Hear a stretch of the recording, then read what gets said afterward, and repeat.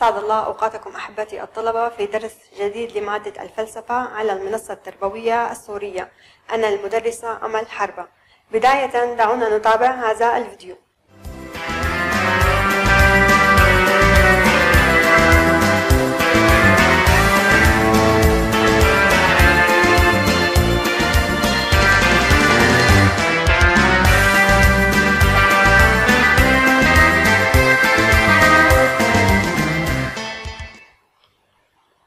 نلاحظ في الفيديو هناك صور عن الضبط الاجتماعي وعن القانون هل القانون وحده كاف لتحقيق الضبط الاجتماعي في المجتمع؟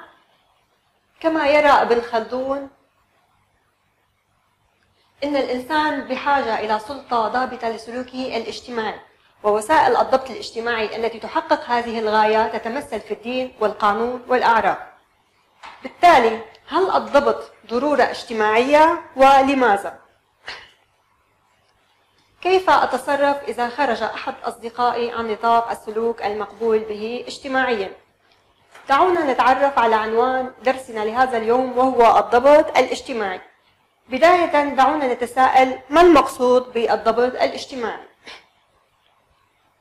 مفهوم الضبط الاجتماعي هو القوة التي يمارسها المجتمع على أفراده للقيام بأدوارهم وتحقيق أهدافهم وفقا للمعايير السائدة المنظمة لحركة الأفراد ضمن دائرة القانون والقيم والعادات والتقاليد والأعراف وأحدى الطرائق للإشراف على سلوكهم وتفكيرهم حرصا على سلامة البناء الاجتماعي ونظمه.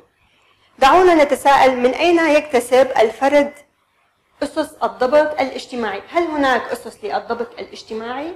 طبعا هناك أساسيات للضبط الاجتماعي وهذه الأساسيات تكون من خلال التنشئة الاجتماعية. من الذي يقوم بالتنشئة الاجتماعية؟ طبعا الأسرة والمدرسة وغيرها من المؤسسات الأخرى.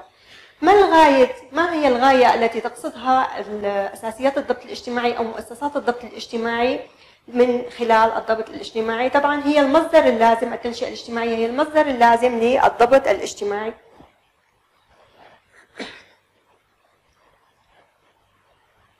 ماذا يعني الضبط الاجتماعي؟ نستنتج أن الضبط الاجتماعي هو القوة التي يمارسها المجتمع على أفراده للقيام بأدوارهم حرصا على سلامة البناء الاجتماعي.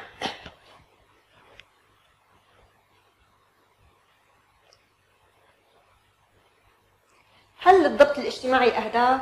نعم للضبط الاجتماعي أهداف وأهداف الضبط الاجتماعي تتجلى في ثلاث محاور أساسية المحور الأول أو الهدف الأول هو العمل على تحقيق الامتثال لمعايير وقيم الجماعة الاجتماعية والمحافظة على التضامن بين أفرادها لضمان تماسكها واستمرارها. أيضا إلزام الأفراد باحترام الحقوق العامة والخاصة ومنع التجاوزات المخالفة للقانون ومعاقبة أصحابها. الهدف الثاني هو الارتقاء بالسلوك الاجتماعي للأفراد وتحقيق الأمن الاجتماعي داخل المجتمع وإقامة العدالة بين جميع أفراد المجتمع في الحقوق والواجبات والالتزامات.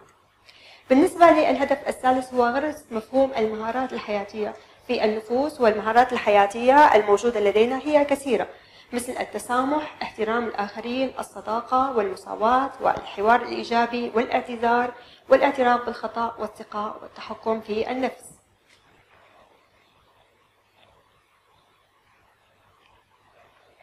عزيزي الطالب بين كيف تكون قدوة في الضبط الاجتماعي لغيرك في المجتمع الذي تعيش فيه؟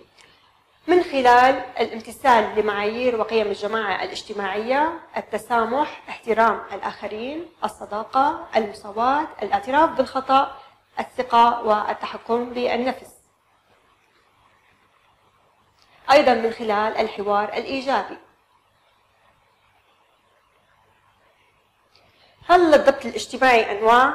نعم للضبط الاجتماعي أنواع وأنواع الضبط الاجتماعي نوعان هنا ميز أو قارن بين أنواع الضبط الاجتماعي أو قارن بين الضبط الداخلي والضبط الخارجي في الضبط الاجتماعي الضبط الداخلي ينبع من داخل الإنسان كالقيم والعادات والتقاليد والمعايير الأخلاقية وهذه القيم والمعايير والعادات يكتسبها الفرد من الثقافة السائدة في مجتمعه وتتولى المؤسسات الاجتماعية المختلفة كالأسرة والمدرسة ووسائل الإعلام تدعيم هذا النوع أو هذا الضبط الداخلي.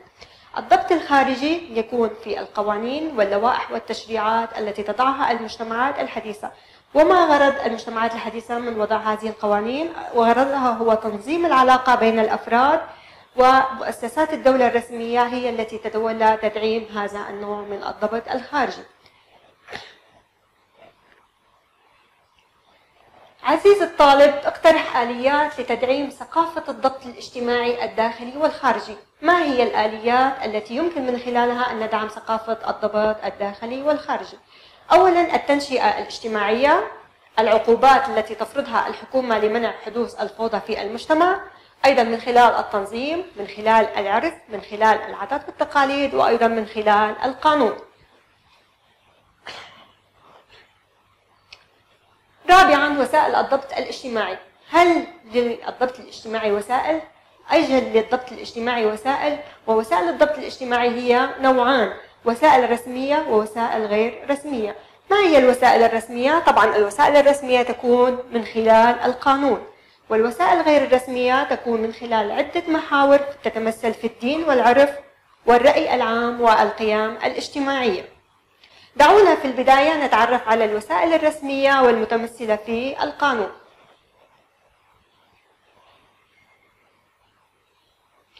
طبعا هذه الوسائل الرسمية وغير الرسمية هي متكاملة ومترابطة مع بعضها البعض ولا يمكن التخلي عنها. هذه الوسائل هي العرف القانون الرأي العام والتربية وبداية لدينا القانون وهو من الوسائل الرسمية. القانون ما المقصود بالقانون؟ أو ماذا نعني بالقانون؟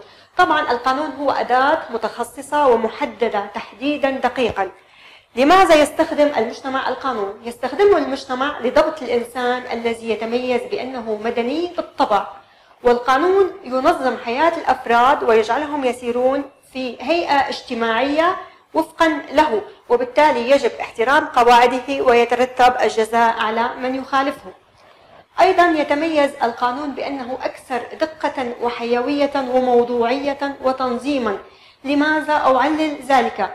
لأنه يعتمد على عنصر التعميم والتجريد ولأنه لا يخاطب أفراد المجتمع بأسمائهم وصفاتهم إنما يخاطبهم بأعمالهم وأنشطتهم الاجتماعية.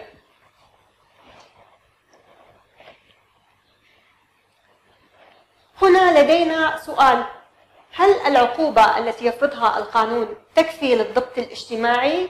برأيك عزيز الطالب هل العقوبة التي يفرضها القانون تكفي للضبط الاجتماعي؟ وبرر إجابتك طبعا العقوبة التي يفرضها القانون غير كافية لأنه لابد أن يكون هناك ضوابط داخلية تتكون من خلال تدوين المعايير في ضمير الفرد ومشاعره عبر التنشئة الأسرية والمدرسية والدينية لدينا الوسيلة الثانية من وسائل الضبط الاجتماعي وهو من الوسائل غير الرسمية والمتمثل في العرف.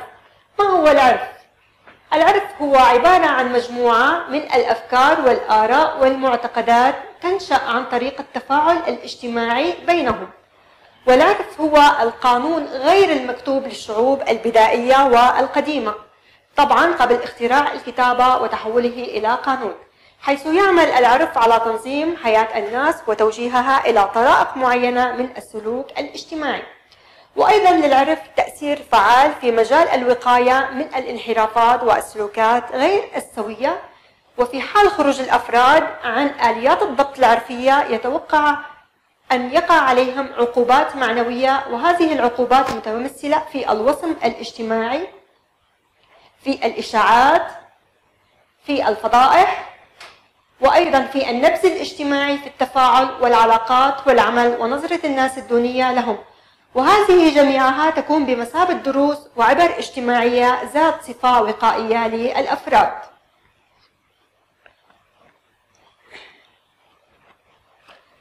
أوضح رأيي الخاص في بعض الأعراف الإيجابية كإكرام الضيف والسلبية كحرمان الإناث من الميراث. طبعا إكرام الضيف له دور إيجابي في زيادة المودة والرحمة بين الناس والشعور النفسي بالسعادة لتقديم ما لذ وطاب للغير والإحترام ورد الإحسان بالإحسان. أما حرمان الإناث من الميراث فهو يؤدي إلى الظلم والجور في حق الإناث وانتشار الجرائم الاجتماعية بين أفراد المجتمع. أيضا يؤدي إلى قطع الأرحام وزرع الأحقاد بين الأولاد واضطرار المرأة للعمل بشكل يخالف طبيعتها. لدينا الوسيلة الثالثة من وسائل الضبط الاجتماعي والمتمثلة في الرأي العام وهو وسيلة من الوسائل غير الرسمية. ما المقصود بالرأي العام أو حدد معنى الرأي العام؟ هو إجماع مجموعة من الأفراد على حكم موجه نحو أي فعل سواء كان مقبولا أو مستهجنا. وللرأي العام أهمية كبرى في توجيه سلوك أفراد المجتمع لأنه يتميز بالدوام والاستقرار ويحمي السلوك الاجتماعي من خلال فرض المطالب الخلقية. هنا لدينا تعليل علل يتصف الرأي العام بأنه مرن لأنه يتشكل وفقا للظروف والأحوال والهدف الأساسي الذي يتبعه وهو أقل فاعلية من القانون ويضع في اعتباره تغير هذه الظروف. لدينا سؤال هل من الضروري أن يكون الرأي العام صحيحا؟ طبعا ليس من الضروري أن يكون الرأي العام صحيح لأنه هو مجموعة من المعتقدات القابلة للنقاش وهذه المعتقدات قد تكون صحيحة أو خاطئة. وهذه المعتقدات أيضا تخص أعضاء في جماعة تشترك بالرأي فيعترض ذلك مع الرأي الخاص الذي يتعلق بالفرد. مثال الرأي العام هو رأي مجموعة من الناس تروج له ويعبر عن مصالحه. أيضا الرأي العام يتأثر بالشائعات والدعاية والإعلام والعوامل النفسية والفيزيولوجية والثقافة.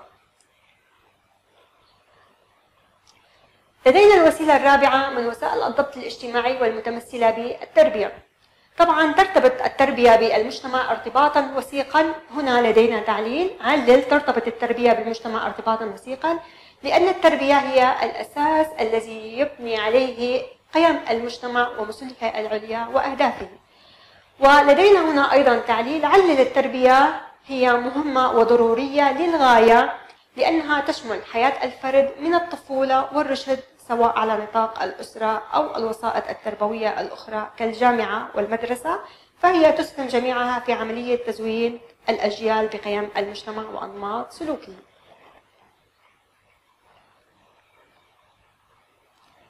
هل هناك وسائل أخرى للضبط الاجتماعي؟ كما تعرفنا عزيزي الطالب على وسائل الضبط الاجتماعي وهي كانت لدينا أربع وسائل رسمية وغير رسمية، كانت الوسائل الرسمية هي القانون والوسائل غير الرسمية من خلال العرف والرأي العام والتربية الاجتماعية.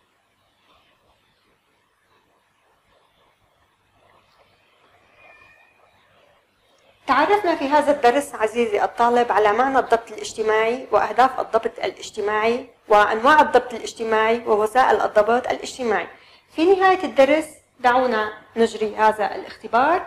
أولا اختر من العمود الأول والمتمثل بالقائمة ألف ما يناسبه في العمود الثاني المتمثل في القائمة ب. الأداة المتخصصة التي يستخدمها المجتمع لضبط الإنسان ما هي؟ الرأي العام القانون العرف طبعا القانون. القانون غير المكتوب للشعوب البدائية والقديمة الرأي العام أو القانون العرف؟ طبعا العرف. إجماع مجموعة من الأفراد على حكم موجه نحو أي فعل سواء كان مقبولا أو مستهجنا وهو متمثل بالرأي العام. هنا دعونا نجيب على القائمة الثانية اكتب كلمة صح أمام العبارة الصحيحة وكلمة غلط أمام العبارة المغلوطة.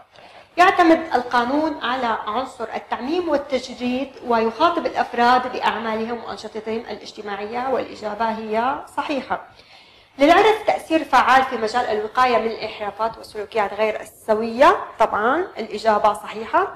ويعتبر الرأي العام أكثر فعالية من القانون الإجابة خاطئة لأن الرأي العام هو أقل فعالية من القانون بالنسبة للسؤال الرابع التربية هي الأساس الذي يبني عليه قيم المجتمع ومصلحه العليا وأهدافه. طبعا الإجابة صحيحة.